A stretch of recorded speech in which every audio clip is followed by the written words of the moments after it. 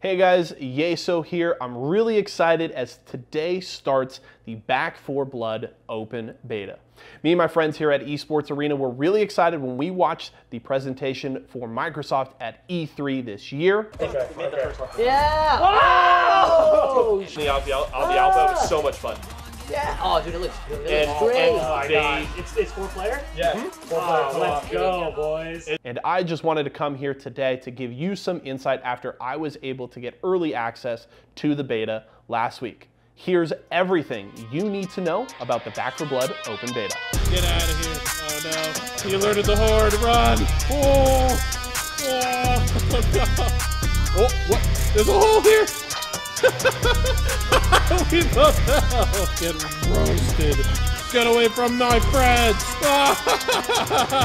Run. No, no, no, no, no. Oh, the big boy. Oh, my lord. Now, the first thing I want to let you guys know is just how things are going to break down when you first get into the game.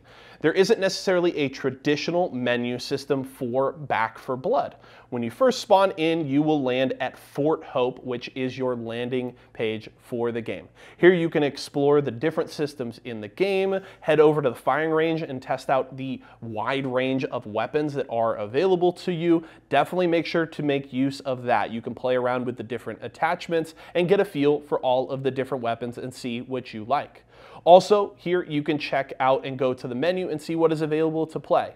During the open beta, you can do a new versus mode, as well as two different campaigns for the series. Make sure to check out all of these during your time with the open beta. Next up, I want to break down some of the differences you're going to see here in the open beta compared to you Left 4 Dead players from the past. Back in the day, there were different playable characters in Left 4 Dead, but it didn't affect the way the game played for you. Nowadays, there are different cleaners that will have different stats that affect the way you play the game. In the open beta, there are five cleaners available that you can inhabit it. Mom, Walker, Hoffman, Holly, and Evangelo all have different stats to them that affect how you want to play around in the different spaces. The other thing is a card system that affects each different game that you play. Corruption cards affect the ridden as well as the mutations that you will face and also give you some unique goals for each different playthrough to earn some rewards. You then have your own deck of cards that give you certain buffs, whether it's quicker reload speed, higher damage, more health, and other different advantages. Make sure to play around with this card system before you go into each game to get an idea of the different buffs that you can play around with. Now, one thing you will notice in your playthrough of the game is that the loot system isn't quite the same as it used to be in Left 4 Dead. At the start of each level, there is a shop available that allows you to buy different perks, equipment, weapons, and even attachments for your guns. Now, Make sure to play around with this a little bit, get a feel for what's available and the different prices so you can have a bit of an understanding of what you can grab during each level. One thing also to make sure to keep track of is copper. There will be little stashes of copper coins at different points of all of the levels. Gathering these will help you buy more attachments, weapons, and equipment at the end of each level. So make sure to keep track of where all the copper is spawning and grab it all up so you can level up your cleaner throughout every single playthrough. Up next, we obviously have to talk about the zombies. In this game, they are called the Ridden, and then the quote unquote special infected for this game are called mutations. There's a range of different mutations you should definitely be keeping an eye out for during all of your games. That list is going to include the Breaker, Bruiser, Crusher, Tallboy, Exploders, Reekers, the Retch, the Hag, hockers, stalkers, stingers, snitches, and the ogre, as well as the sleeper. A bunch of different iterations of these enemies, and some of them are smaller changes to the same kind of enemy type. While you won't see the traditional smokers or hunters from the original Left 4 Dead series, I think Turtle Rock has done a great job of hitting a wide range of different skills for these enemy types that'll keep you on your toes throughout your entire playthrough.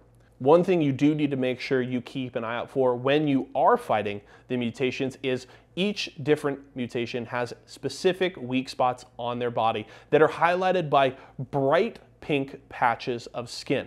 Hitting these spots will do extra damage and go a long way to protecting you and your fellow cleaners from the mutations. Focus on these weak spots and you will survive a lot longer in all of your playthroughs. Now, one of the biggest differences you will see from Back 4 Blood compared against Left 4 Dead 2 is the way the multiplayer works. Classic Left 4 Dead 2 saw you playing through the same campaign levels, just with players inhabiting the special infected and trying to get in your way at every step. This time around, you will play in specific arena style maps that will see you starting the round, looting up for weapons and gear, and then fighting waves and waves of Ridden. Enemy players will inhabit mutations and try to kill you as fast as possible. Each team will get the opportunity to play as both the cleaners and the mutations, and wins are based on how long your team survives. Whichever team survives the longest in each specific arena will win the round. Each game is then a best of three. It also has a unique mechanic like we see in Battle Royales where a circle slowly closes in on the cleaners so you have less and less space to work with. It's an interesting take on multiplayer for this kind of game, and I'm very curious to see what all of you think of it. Now, the final thing to cover here is obviously when does Back 4 Blood release? The full game will release on October 12th, and the best part is if you don't want to pay full price for this title, you're covered. Xbox Game Pass Ultimate subscribers will be able to play Back 4 Blood day one. So make sure to get that subscription and get out there and play. Hope you guys enjoyed and learned something from this video. I'll see you guys out there.